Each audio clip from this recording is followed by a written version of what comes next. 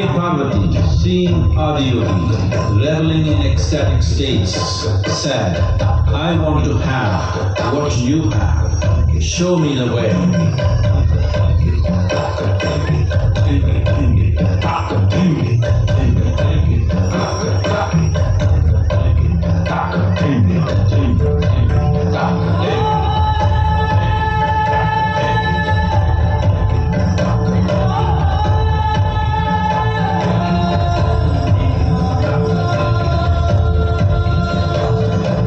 Adiyogi absorbed her and made her a part of himself, and hence he is the Ardhanari, the ideal man, where one half of him is woman.